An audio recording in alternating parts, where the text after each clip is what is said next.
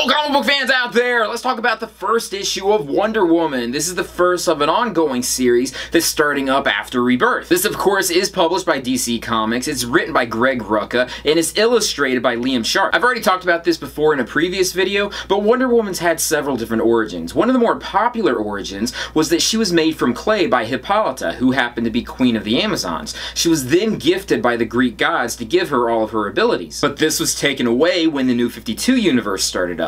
Instead, in this universe, she's the daughter of Zeus. Many fans were upset about this. I was somewhat on the fence myself. I mean, I could have gone either way. I was okay with her origin being changed, but I also respected the origin that we had before this. Arguably, Wonder Woman is one of the most famous comic book superheroes of all time. She's definitely the most famous female superhero, but in comparison to the other heavyweights like Superman and Batman, her origin keeps getting changed up. Batman and Superman have been retold several times in the past, but the core of their origins always remain the same. Batman, he saw his family die right in front of him. Superman is the last son of a dying planet. So having a concrete origin for Wonder Woman I feel is very important. They can change some details here and there, but the core of everything should remain the same. With this first issue, Diana is starting to question her past and where she came from. In the previous issue, which was just called Wonder Woman Rebirth, she used the lasso of truth on herself, which I didn't even know she could do something like that, unless she's done it in the past and I'm just not aware of it. But using the lasso of truth on herself, she found that she'd been lied to and that her origin isn't what she thought it was. She's going to this area to get answers from the quote-unquote goddess of this region. She's also coming across this goddess's minions who happen to be some sort of were hyena creatures. I don't want to give spoilers as to who the final character is that shows up at the very end of this issue,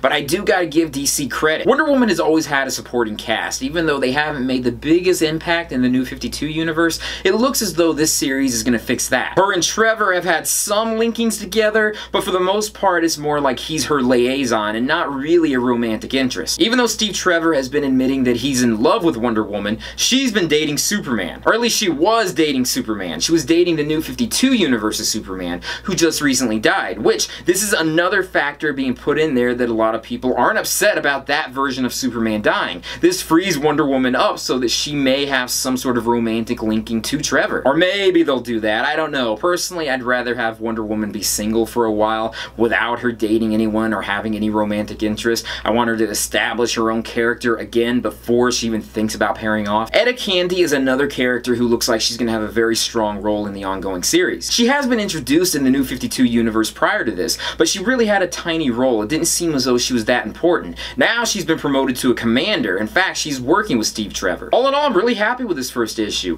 I've never been the biggest Wonder Woman fan in the past. Usually I just kind of read her comic books in passing, but now I'm going to be reading them every time they come out. So definitely recommend this to anyone out there, even if you're only a passing Wonder Woman fan. This is a great starting point for everyone out there to kind of start back up and reading her comic book. But that's it for now. Thank you guys for joining me in this comic book review. Be sure to check out my Patreon site, my social media sites, my websites, and everything else out there. Peace, love, namaste, and I'll see you guys later. Peace. I'm sure a lot of people are already aware of this, but Wonder Woman is celebrating her 75th anniversary. She made her first appearance in All-Star Comics number 8 in December 1941. I'm sure as December gets closer, DC Comics is going to have some sort of celebration, or at least they should.